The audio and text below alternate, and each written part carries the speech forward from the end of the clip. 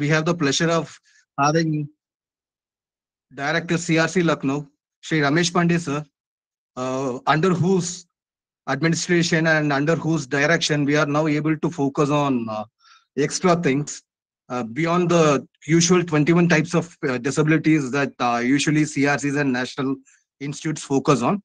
And uh, we are also happy to tell you that recently CRC Lucknow and national institutes.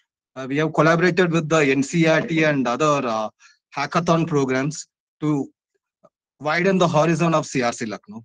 So before we can begin, I kindly request our director, Sri Ramesh Pandey sir, to give our opening remarks, please. Thank you.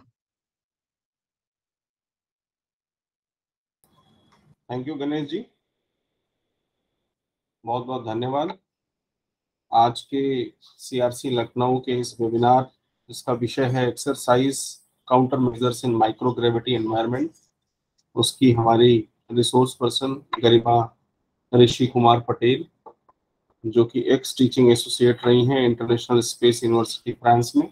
Madam, मैं आपका अपने ministry की तरफ़ से, अपने department की तरफ़ से, अपने सीआरसी लखनऊ के सभी ऑफिसर्स की ओर से, सभी बेनिफिशरीज की ओर से बहुत स्वागत करता हूँ। जितने पार्टिसिपेंट इस प्रोग्राम में जुड़े हैं, उनका भी बहुत स्वागत है। हमारे इस प्रोग्राम के कोऑर्डिनेटर श्री जी शंकर गणेश जी, आपके प्रति आभार। और जो लोग भी इस कार्यक्रम को सोशल मीडिया के माध्यम से ऑनलाइन माध्यम से सुनेंगे, उन सबको भी आभार। मुझे बहुत खुशी है कि गरिमा जी आज हमारे साथ इस प्रोग्राम में हैं। जितने स्टूडेंट्स पेरेंट्स और दूसरे लोग स्टेक होल्डर्स इस प्रोग्राम में जुड़ के मैडम के इस लेक्चर को सुनेंगे। मुझे डेफिनेटली पूरा विश्वास है कि वो इस प्रोग्राम से बहुत लाभान्वित होंगी। और फ्यूचर में भी जो ये वीडियो जो आपको रिकॉर्डिंग है मतलब इस प्रोग्राम की, हम लोग अपने यूट्यूब चैनल पर डालते हैं। और उसको फ्यूचर में भी लोग रेफरेंस के रूप में उसका प्रयोग करेंगे, उसका यूज़ करेंगे। बहुत ज़्यादा समय ना लेते हुए मैं फिर से गरिमा जी, आपका बहुत स्वागत करता हूँ। सभी पार्टिसिपेंट्स का फिर से स्वागत करता हूँ। और जी शंकर गणेश जी के प्रति और दूसरी फिजियोथेरेपी यूनिट के हमारे कर्मचारियों के प्रति अपनी शुभकामनाएँ शुभेच्छा प्रकट करता हूँ बहुत बहुत धन्यवाद Thank you, sir. Thank you, sir, for your words of encouragement and welcome. Uh, actually, जैसे ऑलरेडी बताया था कि यूजुअली हमारा मिनिस्ट्री इम्पेयरमेंट डिसेबिलिटी का रोकने का भी काफ़ी काम करते हैं उसके साथ साथ में हम लोग नया साइंटिफिक दिशा में भी हमारा जो फोकस है उसको आगे बढ़ाते हुए जाते हैं। तो one such area is the space missions where uh, exercise countermeasure is commonly applied to astronomers to mitigate the microgravity induced physiological adaptations. हम लोग को सब पता है जब एस्ट्रोनॉट स्पेस के दौर जाते हैं वहाँ पे ग्रेविटी का कोई काम नहीं होता है। उसके कारण उसका मांसपेशियाँ हड्डियाँ और कार्डियो रेस्पिरेटरी में काफ़ी चेंजेस होते हैं। तो इसको कैसे मिटिगेट कर देंगे? मतलब उन लोगों को किस तरह का एक्सरसाइज स्पेस पे करना चाहिए? एंड जब वो लोग धरती पे वापस आता है तब भी उनको किस तरह का एक्सरसाइज करना है? इसके बारे में आज थोड़ा सा विषय देखते हैं। एंड हम लोग ऑलरेडी इसके ऊपर एक प्रोग्राम किए हुए हैं regarding the physiology anatomy and physiological changes during space space में क्या क्या चेंजेस होते हैं? And how we need to counteract the effects of the uh, non-gravity environment on human body. हम लोग इसके बारे में यूजली नहीं देखते हैं क्योंकि जब भी हम लोग एक्सरसाइज करते हैं हम लोग अर्थ में करते हैं where we are habitually subjected to the effects of gravity but in space it will be a different environment जब स्पेस से वापस आना है जब उन लोगों को फिर इंडिया सॉरी अर्थ में रहना है तब उनको क्या क्या काम करना है कैसे एक्सरसाइज करना है उसके बारे में आज देखेंगे. एंड uh, जब मैं थोड़ा सा इसके बारे में थोड़ा सा इंट्रोडक्शन कर रहा था या I was researching on this particular topic and uh, मुझे पता चला कि this space program space exercise counter intuitive measures it's not just about muscle joint और कार्डियो रेस्पिरेटरी फ़ंक्शन उसके साथ साथ में एनर्जी बैलेंस भी है। जैसे एस्ट्रोनॉट स्पेस में जो कम एनर्जी का खाना खाते हैं पर बहुत एनर्जी खर्चा हो जाता है पर उसके साथ साथ में एक्सरसाइज करने का एक्सरसाइज कैसे करना है उसके बारे में हम लोग को थोड़ा सा देखना है। एंड होपफुली uh, ये देखते जाएँगे एंड स्पेस प्रोग्राम्स तो अभी बहुत कमर्शलाइज भी हो रहा है। तो so probably by the end of this session we will know how current exercise counter measure program can be challenge and उसका क्या क्या ऑल्टरनेटिव तरीका है उसके बारे में भी देखेंगे। एंड uh, आपको कोई सवाल हो आप डायरेक्टली चैट बॉक्स में लिख सकते हैं।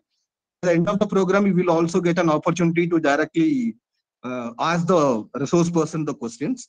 And uh, without much time i would like to welcome mrs uh, garima rishik patel and uh, she's one of the few physiotherapists who is trained in space studies program from international space university and unka special thanks because she is joining all the way from uh, glasgow uh, scotland at uh, such a yearly hours so i really thank her I'm really thanking her for accepting our invitation. So without much delay, I would like to welcome Ms. Garima, please. Thank you so much, sir. And I will start my sc- screen share.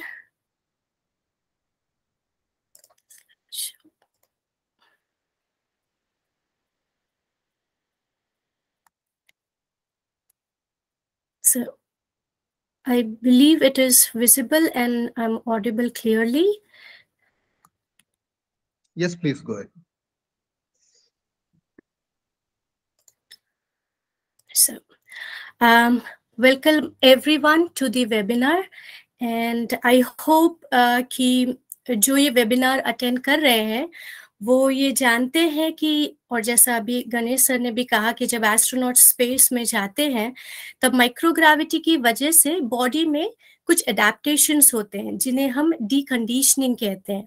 क्यों?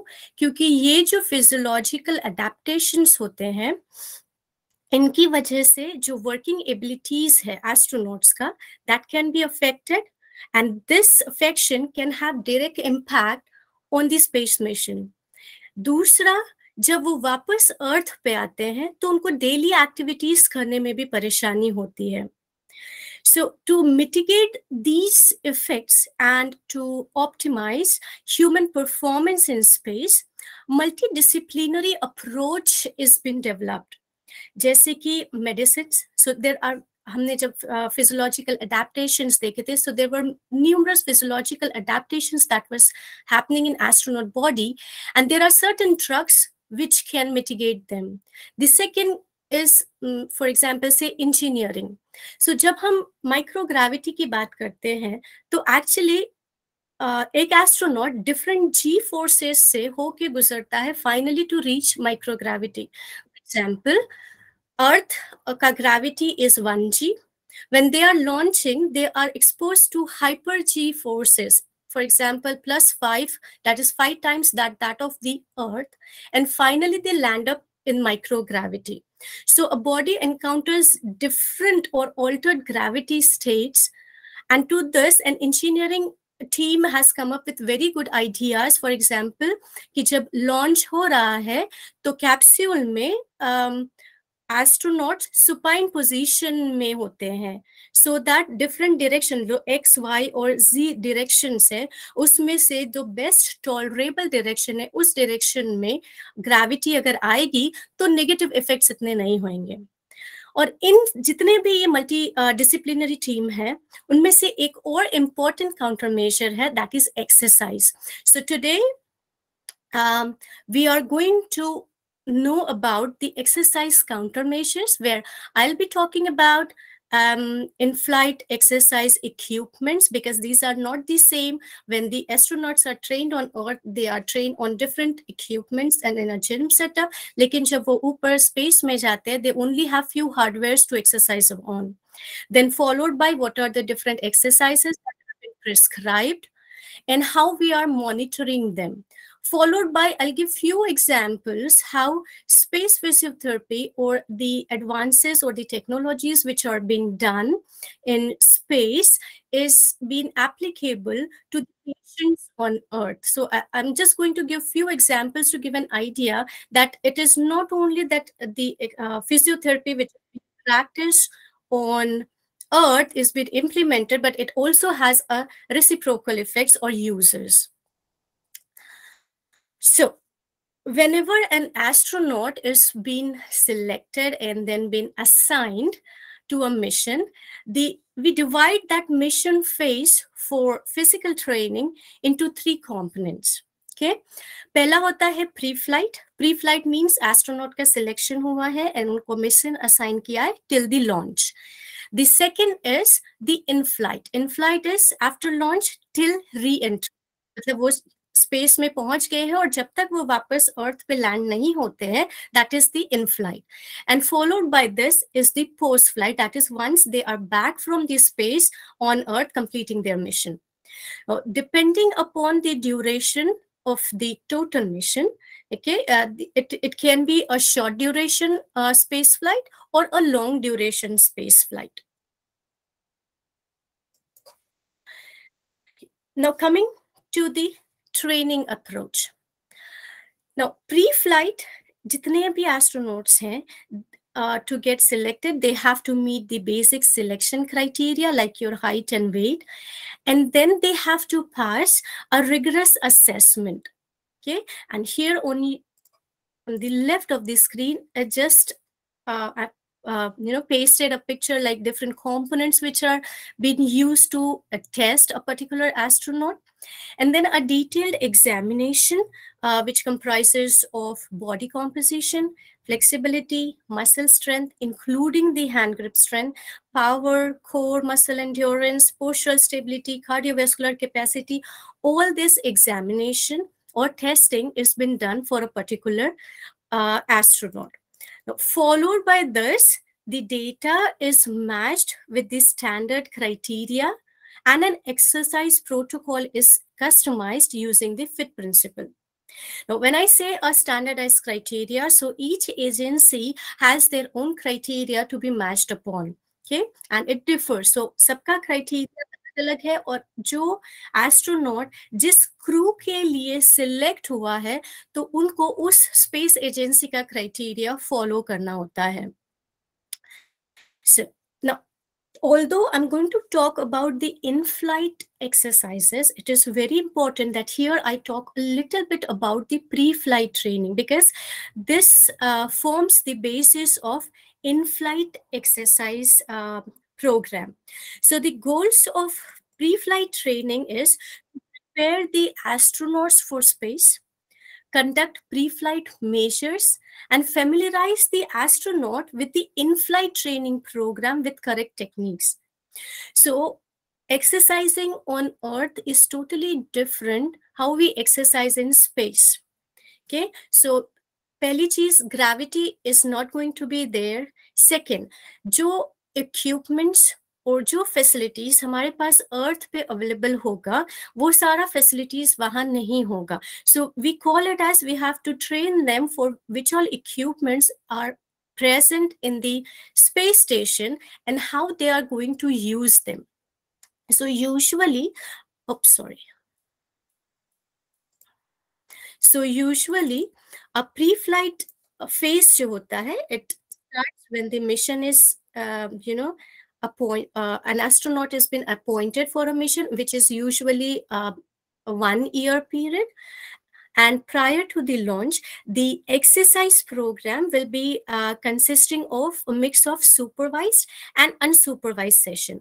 Supervised session may we have typical gym exercises, okay, but the specific focus will be development and implementation of individualized International Space Station in-flight exercise program.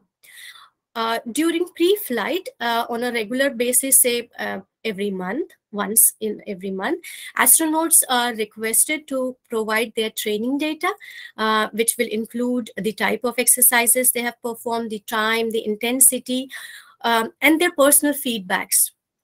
And all these data in conjunction with the results from the standardized pre-flight test, what we have done on them, they are used by us to customize the exercise program for them. Now, this period when they are here with us on Earth, uh, with a physio, it is very important uh, because we have to build a trusting relationships and uh, to maximize the compliance. Throughout the one year it's not that daily an astronaut will be seeing a physiotherapist.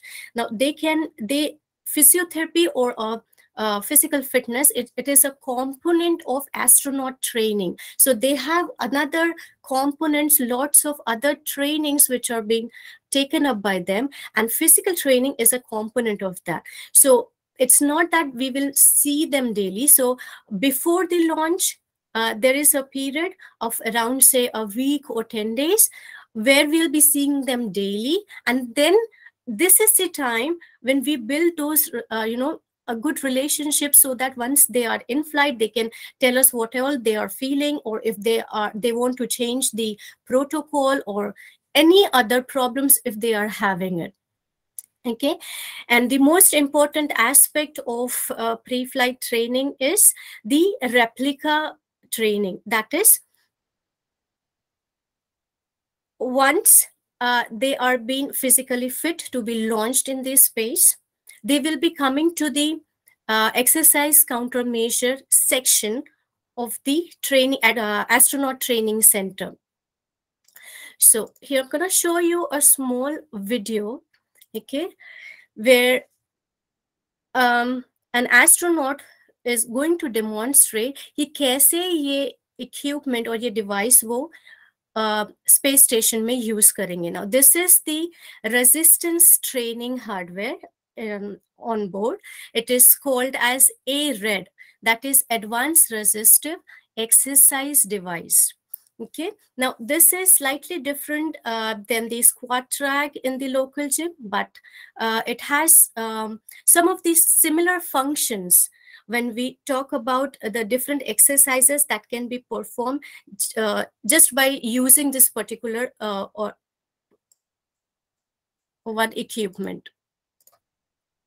Okay, so इसमें क्या होता है कि जब अपना workout करके आ जाते हैं हम इस एक सेक्शन में इस एक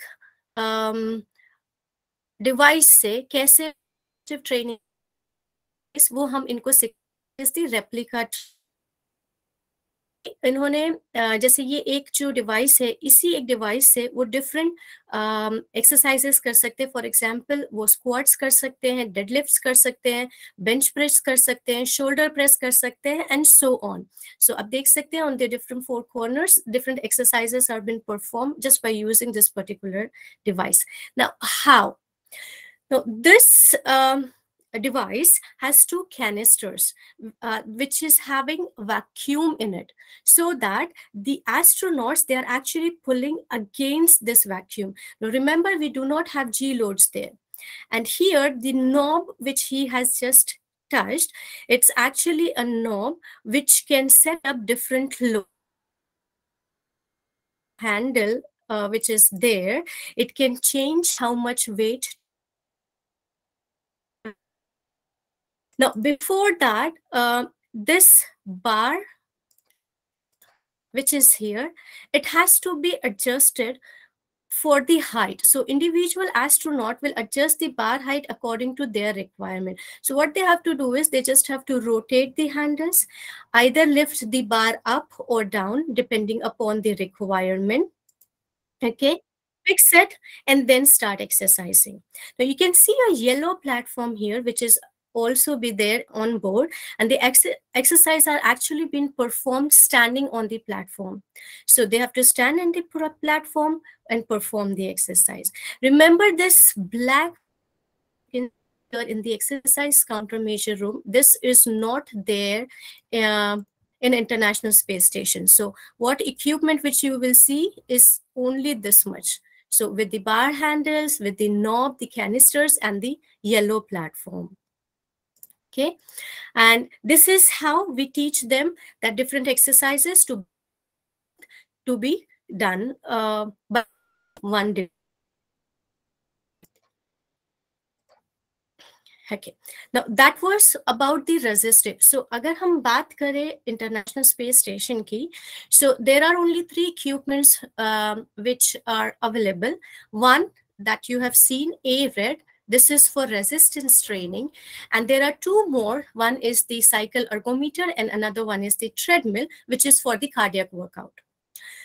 Now, before actually going into the equipment, other equipments, we'll see what are the goals of in-flight exercise countermeasures.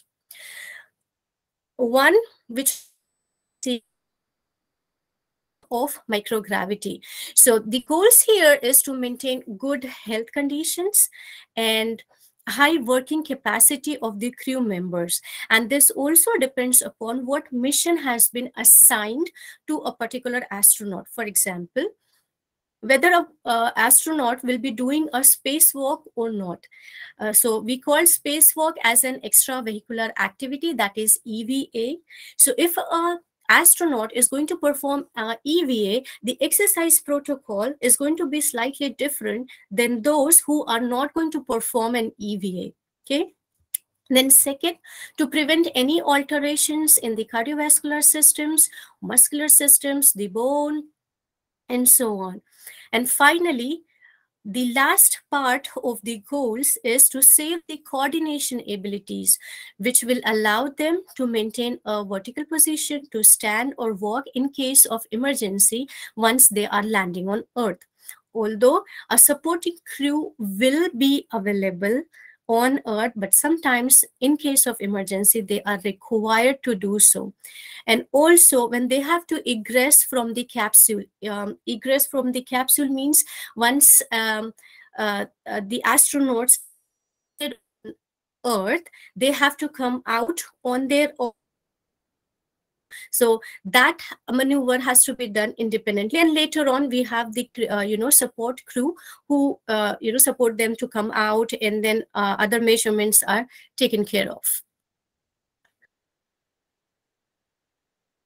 Which is very important to know um, in size devices for use in space they must consider certain factors First, the absence of effect.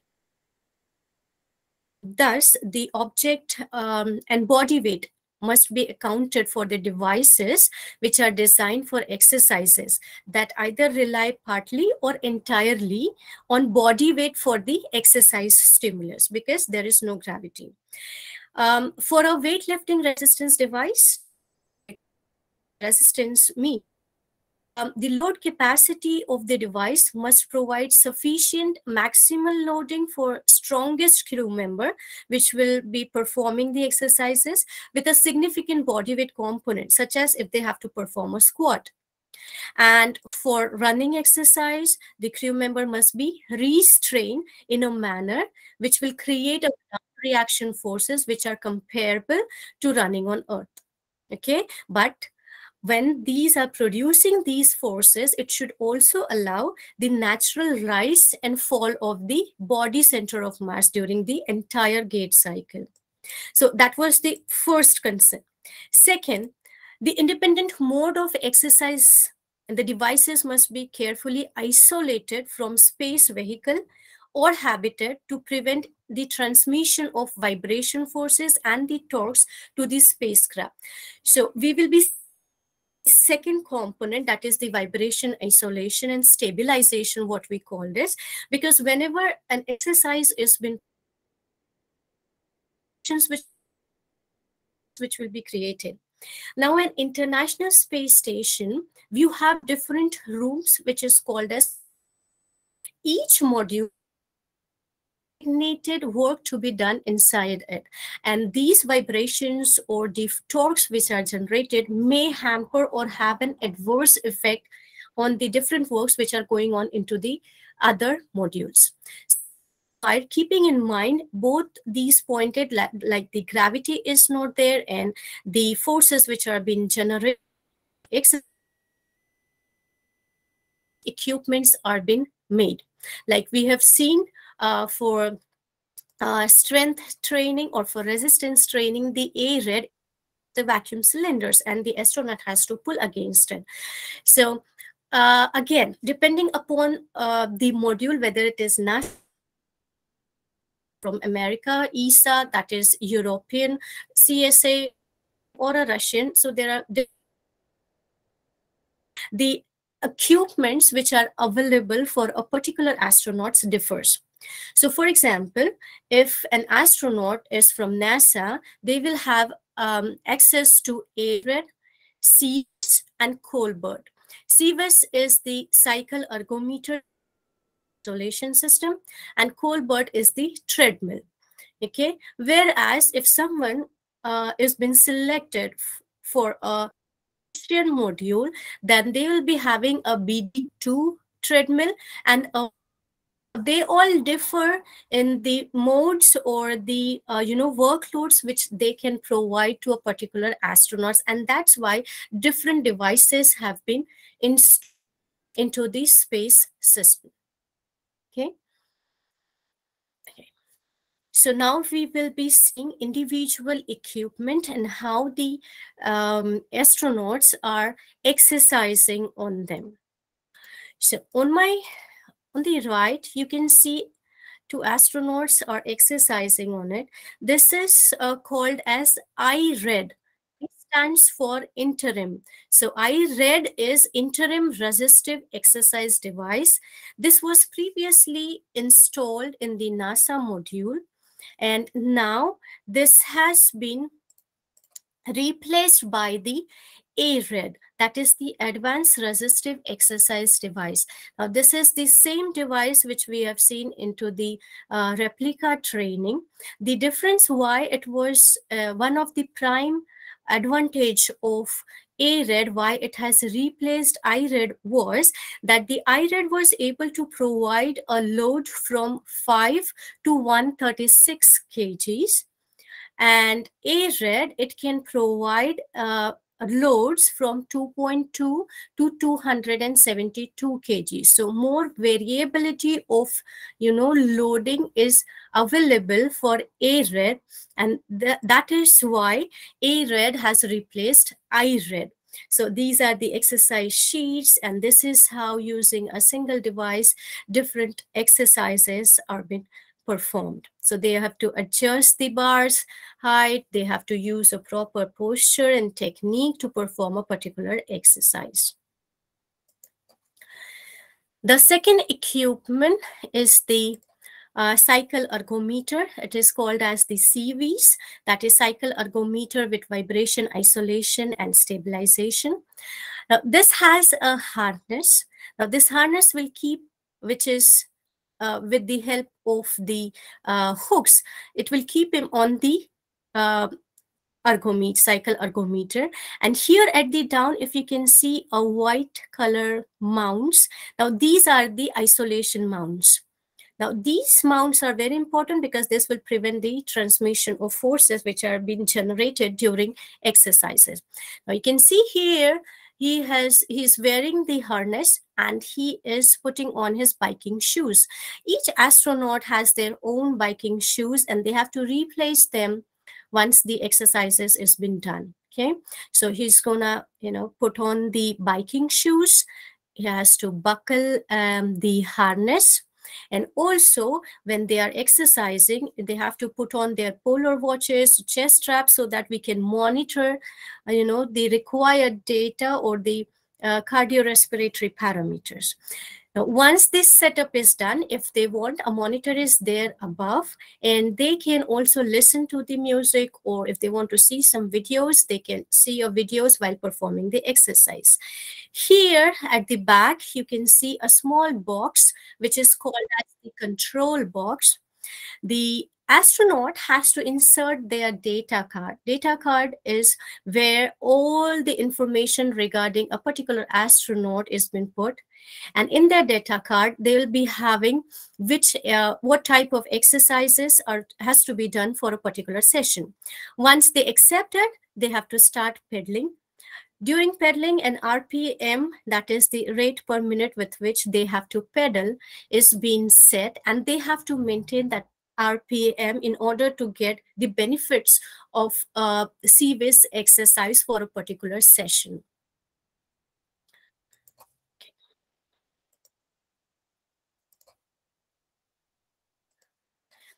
The next equipment here is the treadmill.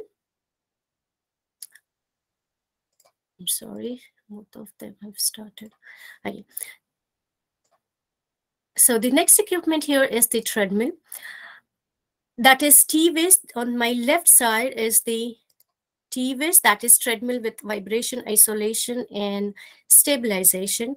And you can see here, an astronaut is you know running on it and actually she is joining a marathon which is going on or which was actually going on on Earth. Now, just as an icebreaker, could anyone identify who is this famous NASA female astronaut? Because I've been speaking for a quite long time. Anyone can just unmute and say. If you want, I can replay. Who is this famous female NASA astronaut? Or Indo-American, I can say. Indian American astronaut. Anyone?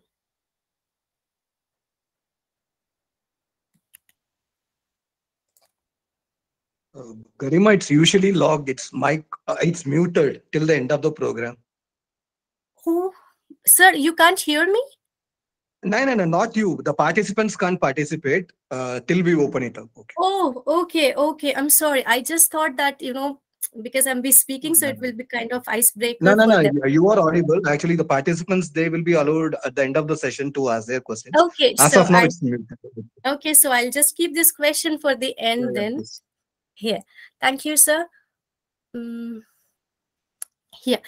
So moving ahead, so I'll just stop this video. And currently, like, uh, you know, the I, uh, was replaced by ARED. In the same manner, uh, the TVIS is now been replaced by Colbert.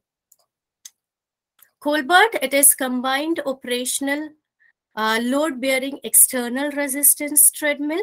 Okay, now TVIS, it was providing a motorized speed up to 16 kilometers per hour, whereas Colbert, which is also called as the second generation treadmill or T2, it can provide a speed up uh, to 20.4 kilometers per hour.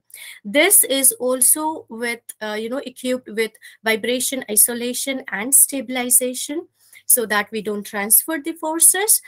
Um, here we will see how now uh, the astronaut is going to harness and perform an exercise. So you have a harness with a strap adjustable and they are adjustable by individual so that you know the load bearing is equal on shoulder and your hips. This harness can be here plugged into the hooks here which is attached to the treadmill with a bungee cord. So white the thing which you can see here is the bungee cord and these are the hooks. Now these hooks here are actually uh, providing the load which has been set up. So harness is been hooked with this uh, different hooks. And on the monitor the astronaut has to you know enter the her personal details, followed by which the exercise protocol uh, will come up. And the exercise protocol will actually show how much is the target. Here it is showing 100 and how much because when she's standing with the cord attached, it is around 103, 102. Once it is similar load is seen when standing on the treadmill, uh, she has to accept the particular protocol followed by uh, it will be showing the heart rate and the total duration and the different parameters of a particular treadmill exercise what is typically being performed on earth. Okay so just have to click start and begin with the exercise.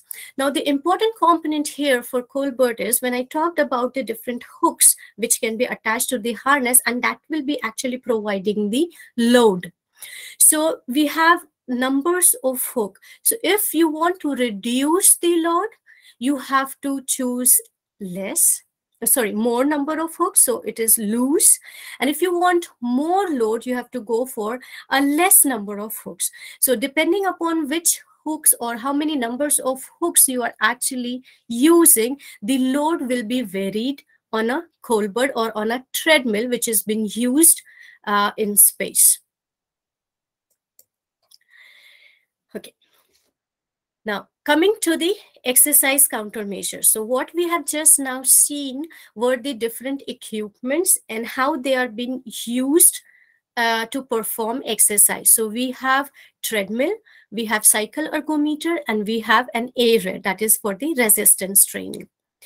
Now, coming to the exercise countermeasures, uh, depending upon the different agencies, they usually divide the exercise countermeasures into phases so as to begin with the exercise, increase the load, and prepare for reentry. So ESA, that is European Space Agency, they typically divide it into three phases. Uh, the duration of each phase uh, is varied depending upon the length of the mission, whether it is short duration or long duration, as well as the individual crew members' uh, specific factors, including uh, how they are adapting to microgravity and which um, exercise hardwares are available to them whether they will they are crewed up with the nasa or uh, say for russian crew members now, typically for in-flight exercise, uh, an adaptation time of two to three weeks is scheduled, which is called as the adaptation phase or the first phase. Uh, with the first exercise session will be planned for cycle ergometer. Okay, the first scheduled exercise bout will uh, remain maximum of 60 minutes and it is conducted um, no earlier than the second day after the arrival in space. This will be followed by increase in exercise time and loading uh, to finally reach up to the two and a half hours of exercise. So initially with 60 minutes and then gradually progressing to two and a half hours. This two and a half hours includes all everything that is the exercise time, their setting up, stow and uh, maintaining, having their own personal hygiene. Um, the use of cycle ergometer, uh, treadmill, and resistive uh, exercise devices, it is balanced in uh, this phase with uh, four to five sessions per device uh, in each week okay? And the intensity here in the first phase will be relatively low. For example say 50 to 60 percent of the pre-flight capacity uh, of a, for a particular astronaut and then we are going to subsequently increase it the second phase, which is the main phase, which is um, designed to prevent the microgravity effects. Here, the training loads for the resistance exercise are going to increase uh, at the rate of 3 to 5% uh, per week, while uh, the rate of increase in treadmill and that is the speed and the vertical loading through the harness, uh, it is less structured. So we know that resistance exercise it is going to increase by 3 to 5 percent per week but for cardiac work, workout it will be dependent upon the crew member. So training but the training loads these are targeted uh, towards 80 percent or more than 80 percent for their maximal exercise capacity. Now um, coming to the preparation for re-entry. Now this is the a last phase of the exercise countermeasure, that is the final, um, say 15 to 30 days which are remaining once they'll be back on Earth. Here we prepare the crew members for rigorous uh, re-entry and any emergency landing scenarios. So what happens here is during the last three to four weeks, uh, the training loads, these are kept very high with an increased focus on resistive exercise and treadmill running and elimination of cycle ergometry. So if possible, we have to increase uh, the loads to the maximum, but ensuring that we are not, um, you know, uh, having any injuries to the uh, astronauts. When I say about uh, the uh, preparation for re-entry and adaptation and main phase, so we started with the uh, cycle ergometer. Then we introduced treadmill and um, resistive protocol.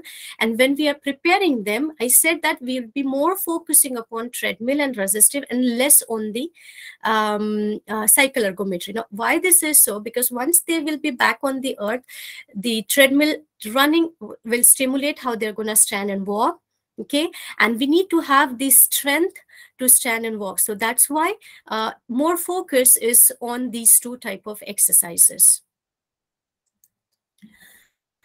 Then now we have seen uh, the three phases and how you know we are going to begin and then loads will be added or increased. We'll see individual prescriptions, how it has been given. So the exercise prescription for resistance training has two phases. Okay, like how we saw different phases, we try to adapt the astronaut first and then increase and then, you know, prepare them for re-entry. So resistance training is similar. So in phase one, uh, uh, this will allow the crew member to adjust to the microgravity environment and also help us to determine appropriate loads which are to be given for uh, the resistance training. And phase two is to mitigate the effects of microgravity. Now, as we have seen in space physiology, the muscles and the bones of lower limbs, they are more sensitive to microgravity adaptations. So the main resistive exercises which um, will be prescribed or are usually prescribed, they are focused on the lower body. So for example, you'll be having more of squats, heel raises, deadlifts okay? And these are performed during every sessions with minor variations. For example addition of a sumo, uh, sumo squats.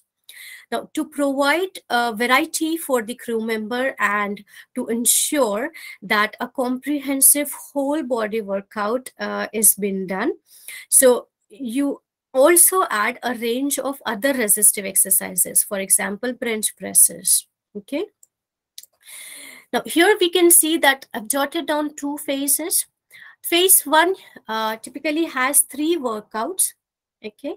And each workout will be uh, having a warm-up, then a primary exercises, which is focusing on lower body, followed by a cool down, okay?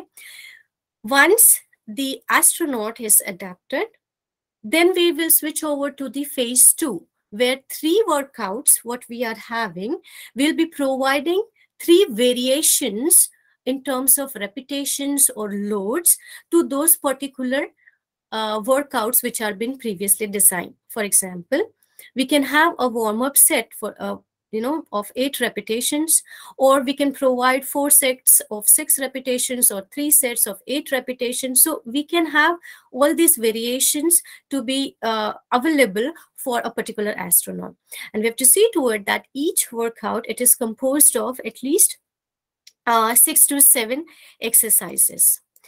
Uh, in this phase, the pre-flight performance and the personal feedback, what we have uh, you know asked the astronauts when before their launch they are being used to update this exercise prescription and also to modify the exercise program so this is um, example of an ARED protocol. So down here you can see session one, session two, and session three. And here are the different exercises which are listed, uh, which has to be done.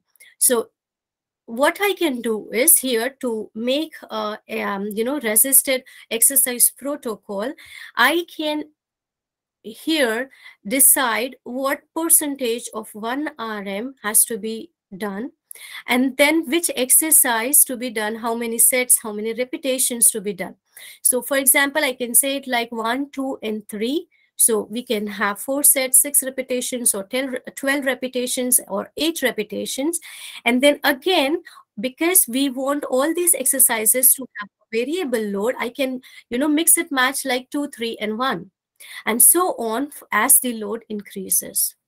So the ARED, the in-flight protocol, uh, it's divided into uh, three macro cycles okay? And the repetition maximum loads in the second macro cycle. So this is the first macro cycle what you can see. And if you want to increase the load for a particular exercise it will depend how the first cycle was performed.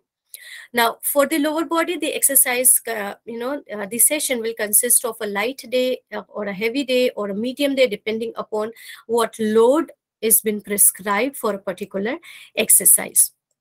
Now, the initial load, uh, it will, like I said, it will be determined upon by the pre-flight. So how we calculate it is, so for lower body, for example, say uh, six, eight, or you know, 12 repetition maximums, they can be calculated uh, from 10 RM uh, at 75% of the astronauts body weight. So this is the baseline from where we start from 70 to 75%, and then gradually we are going to increase so as to compensate for the loss of body weight in microgravity. The next is for the cardiac workout. Now we know that we have two equipments, cycle ergometer and treadmill. So the recommendation to partition um, the aerobic session between the treadmill and the cycle ergometer by NASA, it is like four days per week of treadmill and two days per week of uh, bicycle ergometer. Now, this is one of the recommendations, but it can be altered in some, um, you know, circumstances like um, if you have to accommodate some crew preferences or there are some, you know, medical conditions or the availability of hardwares and eh, other conditions. So although it has been you know um, recommended you can uh, adjust as according to individual requirement now the exercise protocols uh, prescribed for each crew member for the cardiac out, uh, cardiac workout it will be based on maximum oxygen consumption uh, which is measured during pre-flight that is the vo2 max what we call and the cardiorespiratory program it consists of different protocols like uh, how we have it on earth. So we have bruce protocol modified bruce protocol on earth. Similarly uh, what type of training you want to do it in flight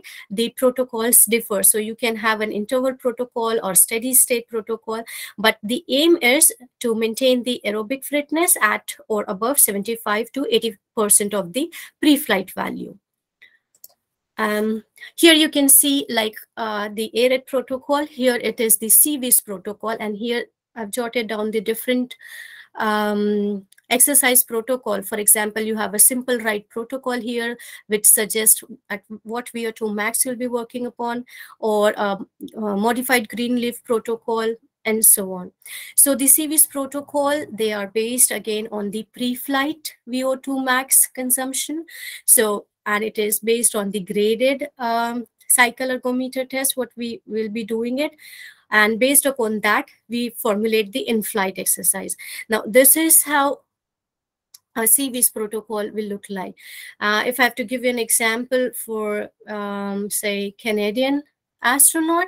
So our steady state protocols for them, they will be performing at approximately 80% of their pre-flight VO2 max. And interval protocols, they will be performed between 60 to 90% of the VO2 max. And the rest stages it will uh, vary between 40 to 50 percent. So as i said each space agency has their own recommendations and has their own uh, treatment plan which is customized for every astronaut. So you cannot generalize it like how we do it on uh, you know patients or individuals on earth. Now this is the t2 so treadmill protocols, these were created again with the crew members' participation uh, during their pre-flight phase, and the intensity will be increased throughout, modifying uh, their running speed, the interval duration, and uh, the uh, hooks which is attached to the bungee cords, the loads can be varied. Now the treadmill uh, here, uh, um, the when the astronaut is exercising they will be using both the motorized and the non-motorized mode with uh, initial loads at least 60 percent of the body weight and it has to be gradually increased to 70 to 80 percent during the uh, mission. And we will be using the harness which the astronaut was wearing while performing the exercise to increase the load throughout the mission Now, here is the whole exercise prescription, what it looks like for um, an astronaut, which includes all the resistive protocol, the treadmill, and the cycle ergometer.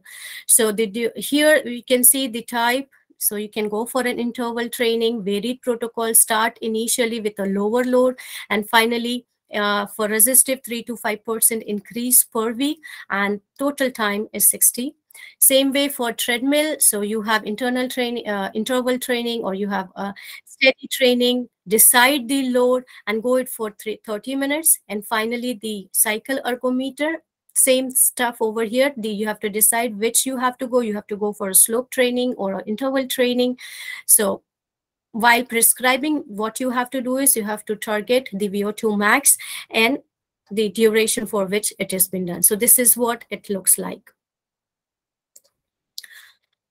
now, when all these exercises they are doing and once the exercise bouts are finished, it is our responsibility to monitor those exercises because monitoring has um, dual benefits. First, it will help us to know whether the astronaut is performing up to the mark or up to the level which has been set for him.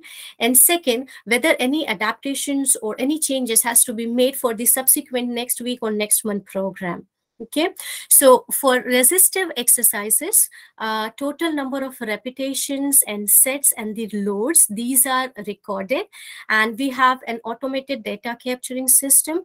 So the data files they will be downloaded once per week and then it will be reviewed by us following which um, you know we'll be providing higher loads uh, which can be given.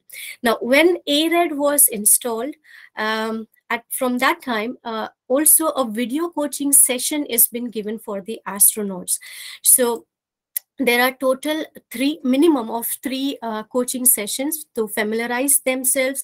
And if they are having any problems with the load adjustments or performing a particular set of exercises. So all these concerns are being uh, you know taken care of with the help of uh, the uh, coaching sessions. And finally um, you know uh, the last one after the familiarization and once we get the feedback uh, when we are increasing the loads how to increase when to increase and how much to increase all these uh, you know uh, details or all these these trainings again given in one uh, you know one of the coaching sessions uh, which have been conducted for the astronauts and finally, um, on monthly basis, we will be going for a periodic exercise conference, that is PEC, we call it as. So we'll be uh, with the crew member, uh, we will be re uh, reviewing all the aspects of uh, the previous month exercises or the uh, activities and what is planned for the next you know uh, exercise sessions and if uh, they agree they do not agree so if we have to change or if we do not have to if they are fine with it or any uh, injuries they are coming up with so all these points are uh, being covered um, in the conference. Now coming to the cardiovascular, so heart rate uh, during the cardiovascular exercise sessions, these are monitored using a chest strap uh, which will be having a transmitter. And we can also ask uh, we also ask the astronauts to wear a polar watch. Um, this gives uh, the data regarding the heart rate and the workload and all the relative uh, data which uh, uh, which is required for cardiovascular exercises. And we again um, we have the access to directly download it per week and we monitor their fitness considering um, VO2 max. And we also have to go for an exercise testing while they are on board. And it is uh, the exercise testing is done uh, by using submaximal standards, that is uh, 25 to 75% of VO2 max. And this exercise testing, what we start is usually from day 15, once they have uh, reached uh, the space, and then on monthly basis. For data analysis uh, at European Astro Astronaut Center, they have um, Microsoft Excels and statistics program. They also prepare the prescriptions and can be emailed to the um, astronauts and so on. NASA has their own app application that is the cms application which can be used to generate and upload protocols and nowadays there are a number of other applications which are being available commercially available that can be you know readily available for all of us to use. And uh, most of the analog astronauts program they are using many applications to monitor uh, astronaut health. Now one of the very important aspects of um, space research and technology in healthcare is we are maintaining the uh, astronaut health and you know once they are also back so we are giving them different exercises but how can um, it improve the patient care here on Earth? So not everyone will be working with an astronaut or, you know, we do not have such populations that uh, we have a specific, uh, you know, focus on space. But what is the beauty of, you know, space physiotherapy or any um, space field is its terrestrial applications. So science experiments um, which are performed on astronauts in space has actually improved our understanding of medical condition on Earth as well as it has led to development of uh, clinical versions of many technologies that can be uh, used on Earth so so far we have seen uh, how astronauts are being trained how they are being you know taken care of how they are exercising what all resources available. To end this particular webinar i would just like to highlight how um, the the um, benefits of research and technology which are actually being uh, you know, design for space has informed the physiotherapy practices. So first and foremost, I would like to talk about the telerehabilitation. Now, in COVID era, and even before that, many of us were using telerehabilitation, which has enabled us uh, to interact with the patient, perform assessment and treatment. So telerehabilitation is one of the widely used uh, application of space technology here concerning to patients on earth. Is something called as biomonitor.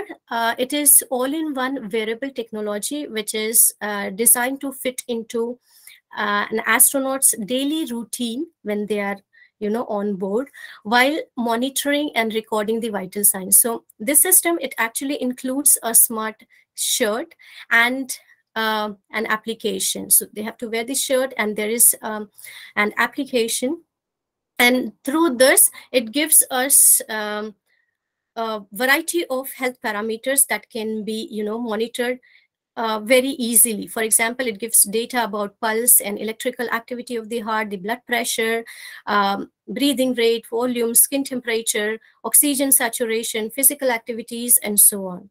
Now, what is the Earth application of this biomonitor is, now this in Canada, is now being used uh, for individuals who are bedridden, housebound, or who are living into communities with limited access to medical support.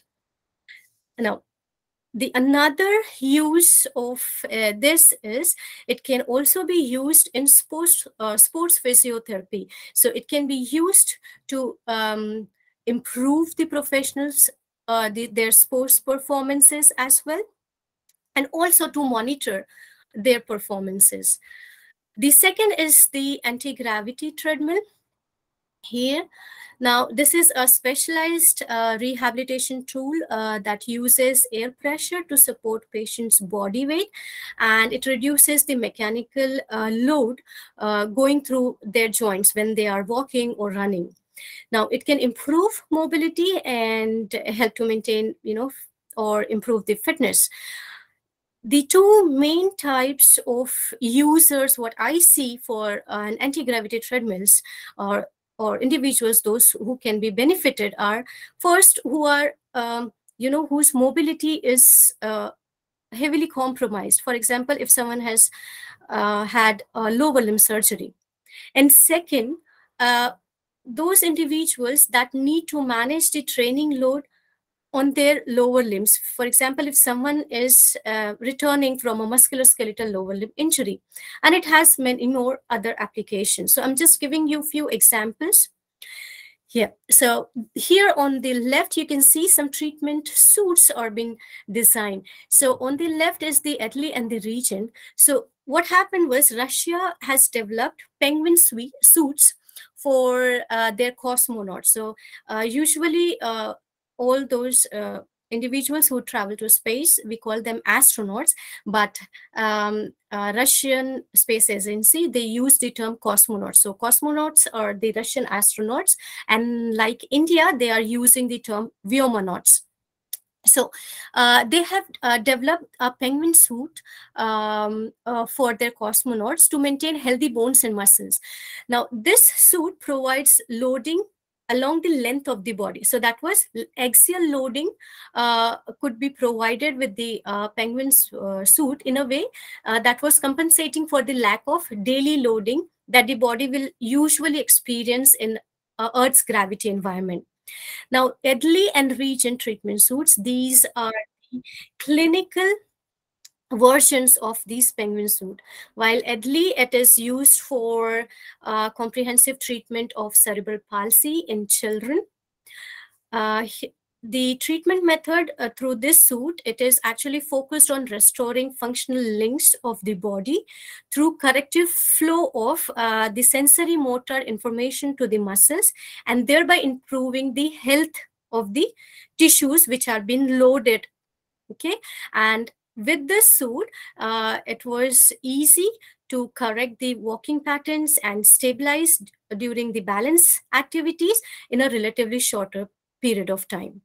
The another clinical um, version of penguin suit was the Regent uh, suit and the complex effect of the suit on the body is based on again increased axial loading on the skeletal structure um, which will result into increase of sensory information to the nervous system which is important when you are treating um, development of you know pathological posture or normalization of a vertical stance or walking control, those uh, who had some central nervous system um, uh, pathologies, for example, say cerebrovascular accidents. Next is the G suit, um, that is the it is also called as the anti-gravity suit. So while returning, some of the astronauts, they wear this G suit to apply pressure in the legs and the torso so that the cardiovascular deconditioning symptoms do not appear once they are landing. Now, the one of the application of this uh, G suit is uh, they are being used um, for women who are suffering from postpartum hemorrhage by applying the external pressure to the entire lower limb to stop bleeding after the childbirth. Motor imagery protocol, um, very widely used, I will say. And these was also developed um, for by, you know, Italian Space Agency, and it is one of the tools which are being used in the neuromotor uh, rehabilitation. The FRED, that is the Functional Readaptive Exercise Device. It is one of the, um, you know, interventions uh, which are in trials to be used for non-specific low back pain on Earth. And apart from that, there are many more. For example, you have short arm uh, human centrifuge, which can help patients with restricted mobility, for example, who are undergoing disuse muscle atrophy. There are other workout recently uh, HIIT, that is high intensity interval training. A new prescription has been uh, given for astronauts, which uh, you know, uh, which was aimed to actually reduce the total time duration that is two and a half what they do per day to but to achieve the same uh, benefits. Now um, the most compelling uh, part of this HIIT workout um, exercise prescription is that uh, if it has been um, followed on sedentary by sedentary people or those who have long working sitting hours it can uh, protect the people against 23 hours of you know inactivity so that is one of the implications and the last which I would like to share is um, the astronaut exercise program for cancer patients. Now, it has been observed that the changes which are seen in uh, patients who are having cancers are similar to that what um, an astronaut experience in space which is called as a space fog. For example there is a decrease in muscle mass they have bone demineralization changes in heart function and so on. But we are prescribing exercises to astronauts. Then why not this for um, the patients who are having cancers on earth? So uh, a team of astronauts and a space agents is now working upon developing an exercise countermeasures for uh, individuals who are having um, cancer so as to uh, combat the um, or to mitigate the effects of treatment side effects like your chemotherapy and so on. So these are some of the terrestrial applications which I can say, and I would not take much of your time, and I'll just conclude. So I feel exercises are integral part to maintain uh, human health in space and optimize their performance. But I will here like to show video of uh, an astronaut uh, who has to say something about the exercises. One thing to remember is you want to enter your space flight in as best shape as possible. It's hard to make up for a lack of exercise while you're in space, but it is much easier to be able to maintain where you are and maybe get a little better if you enter the flight, if you launch in pretty good physical condition. For now, the best way to stay healthy in a zero gravity environment is to exercise. Yeah. So even he agreed that the best way to stay healthy in a microgravity environment is uh, through exercise. So I would like to thank you all for joining me today, and I hope that this session has given you some glimpses of, you know, uh, exercise countermeasures that are being done uh, in microgravity environment. This is the you know one of the clips which I have taken uh, when I was interacting with NASA astronaut uh, Professor Jeffrey Hoffman, and he was discussing uh, with me how his first flight and then second flight was different, and what uh, you know exercises he did and how it has actually helped him once he was back on Earth. So as we look uh, to the future of space exploration, I would encourage you to stay engaged with the latest research and advancements in this field, along with its terrestrial applications. And I would like to thank you uh, once again. Thank you so much. Uh, thanks, Garima. Um, I think uh, now we can open the forum for any questions. If any of the participants have any questions, they may please ask.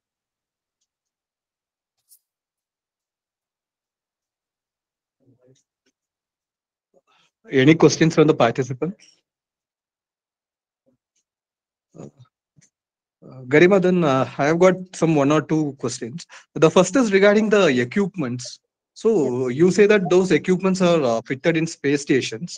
So they will be in a gravity environment or zero gravity environment? Sir, zero gravity environment. And that's what uh, I have said that you have an isolation device which was mounted, right? So that isolation yeah, yeah, device has been mounted on the modules but they will be in the microgravity environment and they have specific uh, principles. Like i said ARED device it has canisters which has vacuum. So when a when an astronaut is pulling against it that's how the load is being created. Achha, so your concentric exercises will stay as a concentric exercise. It will not get converted into a lengthening contraction something like that so that is the whole principle. Achha. So the vacuum will give resistance. Yes, sir. Because and what about Earth the have, oh, sorry, on Earth we have two ways. One is the gravity, and another is the mechanical force. So same principle we are applying it uh, there in this space. So we do not have gravity, but we do have a mechanical load. Achha. And uh, what about the energy consumption uh, matlab, uh, energy I, uh, what i read yesterday yesterday only i was just reading and they said that the energy output is much more higher in space yes. than energy in. Yes then how do they is... calculate for that? So there are different calculations which are being available for different space agencies but as a physiotherapist that's what we are uh, you know uh, we are working towards making protocols uh, that will reduce the duration. So the energy consumption is very high as compared to that of uh, the earth and it is in, it increases much more higher uh, when uh, they are going for an eva so uh, what we are doing like i just talked about the HIIT newly prescribed HIIT protocol for the astronauts. So we are developing new protocols which will also, uh, you know, take into picture uh, regarding the energy consumption, what uh, you have just said. So usually it will be a mixture of both aerobic and resistance exercise. Yes, sir. Right? Yes, yes, sir. Okay. Right.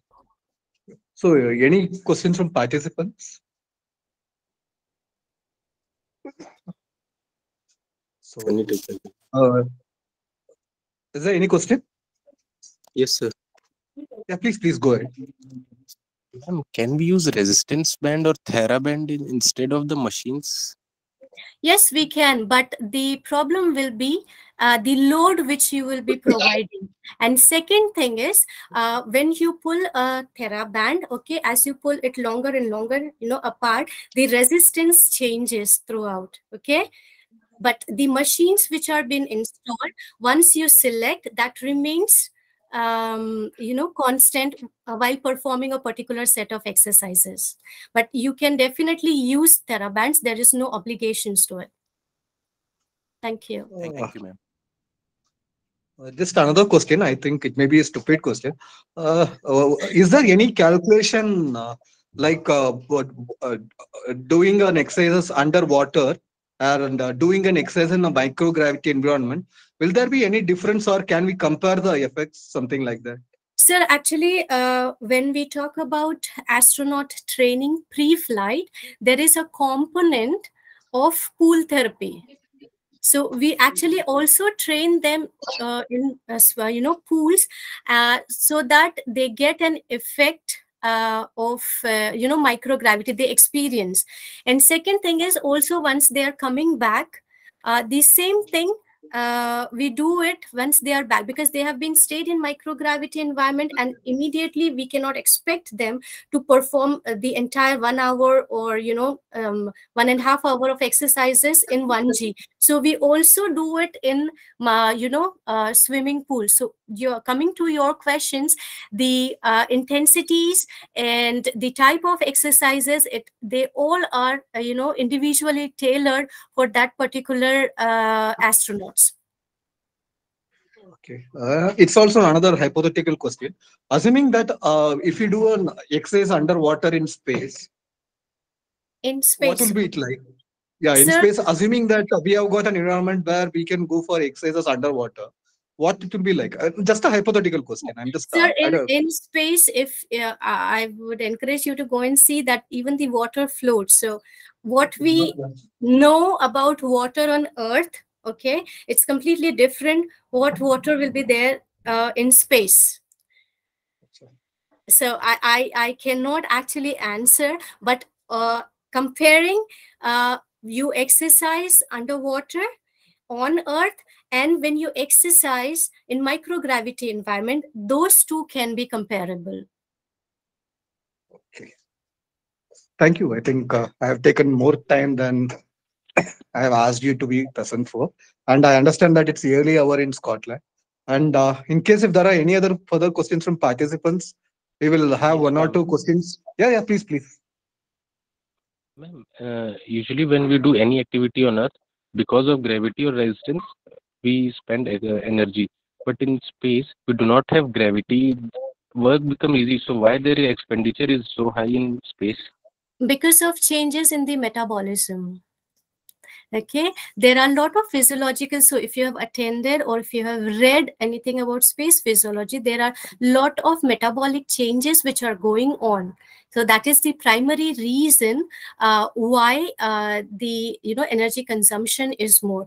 And second thing although you have said that gravity is absent okay but the mechanical loads are not so i said there are two types of forces which you know we talk when we talk about astronaut physical fitness one is the gravity and another one is the mechanical load okay so i think uh, it answers your question if I may add a little uh, to your question, actually, even the splanchnic blood flow and the absorption, absorb, uh, nutrient absorption, it is on the lower side in space.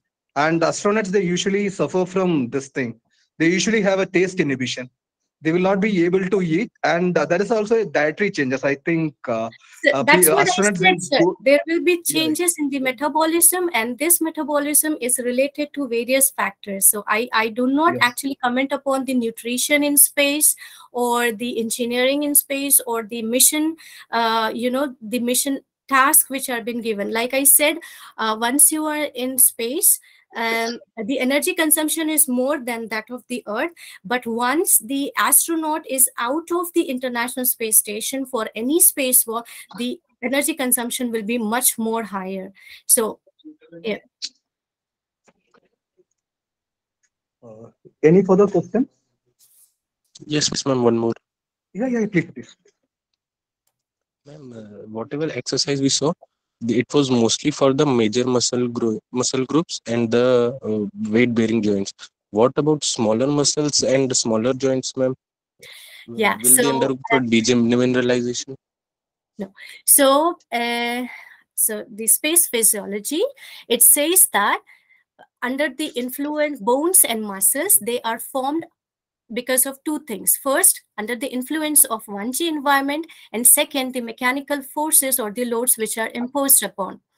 Now, the mechanical forces or the gravity, these are majorly counteracted by the, you know, what you call as anti-gravity muscles or the major muscle groups. And the load bearing is also done by the lower body. Okay. And this is the reason that we concentrate more on lower body exercises like loading them and uh, you know targeting those muscle groups. Second thing what you ask about these small muscles. So uh, these muscles or the upper limb muscles they do not undergo degeneration or you know atrophy as that of the lower limbs because even on earth we do not use them more against gravity okay very small muscles what you're talking about. But what happens is when uh, an astronaut has been assigned for an eva which i could not cover in this particular uh, you know section at that time a specific component for example a shoulder maintenance program is added twice a week. Shoulder maintenance or an upper limb maintenance program is added twice a week. So as to mitigate those negative effects which they will be having for an EVA. For example, shoulder injuries are very common, then uh, finger dislocations, they are very common.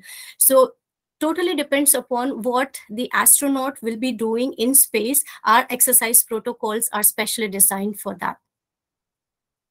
Thank you.